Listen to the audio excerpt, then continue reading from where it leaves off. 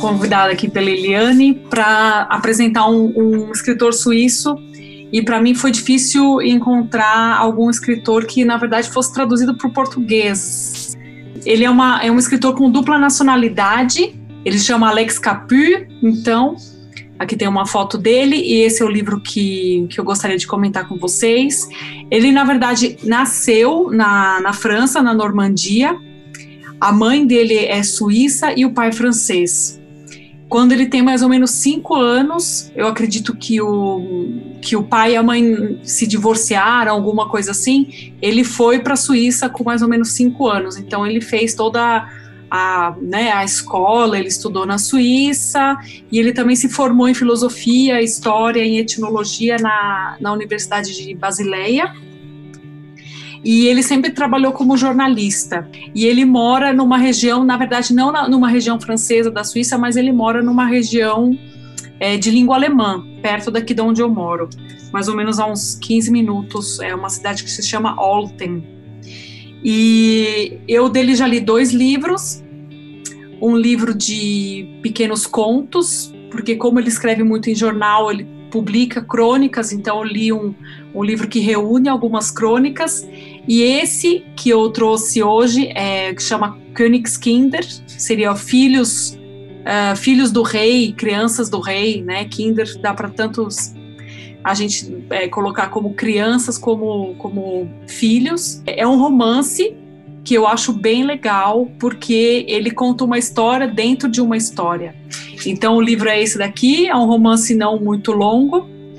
Ele faz assim, ele começa nos dias de hoje com um casal numa região suíça, então ele é realmente assim numa montanha cheia de neve, eles estão dentro de um Corolla, eles até colocam a marca do carro, um Toyota.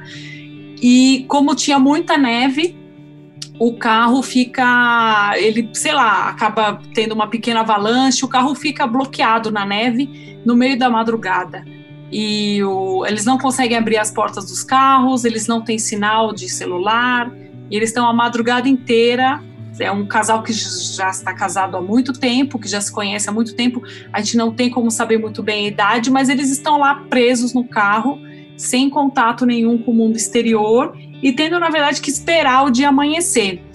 E para passar o tempo, eles é, começam a conversar e o marido começa a contar uma história para ela, uma história que se passa em 1776, naquela região de Friburgo. É uma região é, que já é entre a parte alemã e a parte francesa. é aquela região das vaquinhas, né, que todo mundo pensa aquela coisa é, montanha esverdeante, é, alguém tirando o leite da vaca. É um, uma região também que tem muitas é, fábricas de chocolate.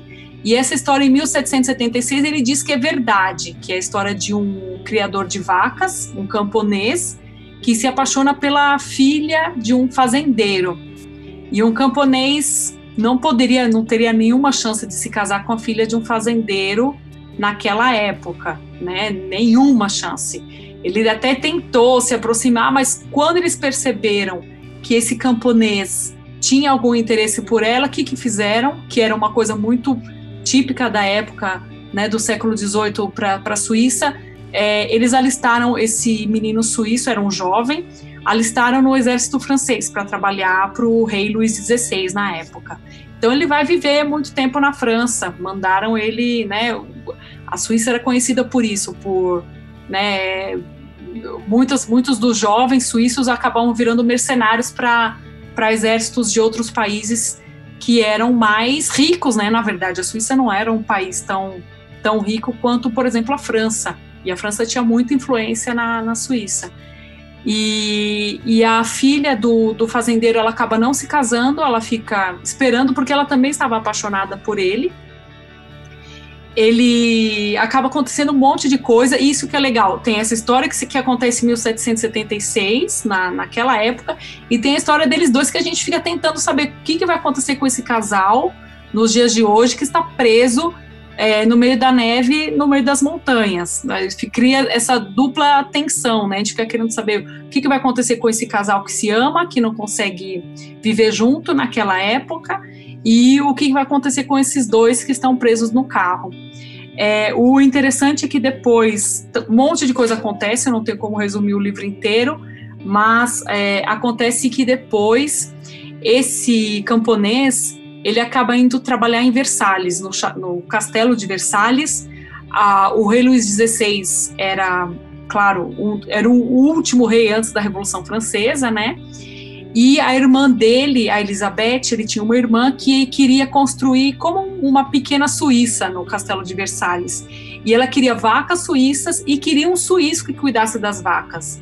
Então a gente fica sabendo que, por exemplo, naquela época, os camponeses, eles tipo sabiam falar com as vacas. Eles sabiam uma língua para falar com as vacas que ninguém mais sabia.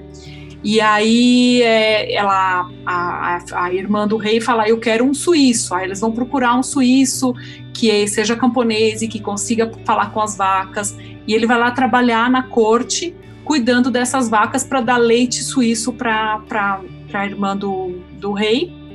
A irmã do rei ela começa a perceber que esse cara tá muito triste. Ela fala, qual? Ele tá aqui no, na corte mais rica do mundo tendo tudo o que ele quer, por que, que ele é tão triste? Aí ela acaba descobrindo por outras pessoas que ele, na verdade, era apaixonado pela filha do fazendeiro. Então ela fala assim: Meu, chama essa filha do fazendeiro, não quero nem saber, vão lá na Suíça, vai buscar.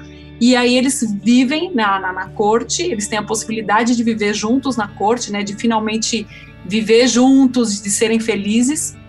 Só que meses depois acontece a Revolução Francesa. Eles estão vivendo nas vésperas da Revolução Francesa, quando todo o povo de Paris vai para Versalhes e quebra tudo, e enfim, guilhotina e morte e caos. É, mas na verdade eles não são nobres, né? Eles são empregados, então eles acabam de alguma maneira conseguindo se, se safar. E aí o que, o que é legal é que a madrugada passou, o marido está contando a madrugada inteira essa história para para mulher e aí depois o dia, né, o dia volta a raiar. É uma história bem legal. Eu acho que ele fala muito realmente da Suíça, de coisas que eu também não conhecia da região. E ele tem realmente um conhecimento muito detalhado dos lugares, assim, dá a ideia de que realmente essas pessoas realmente existiram. Isso eu não fui atrás para comprovar, mas é tão detalhada certas coisas e certos acontecimentos que dá essa impressão. E realmente não, a gente não consegue terminar, assim, deixar o livro sem ter terminado de ler.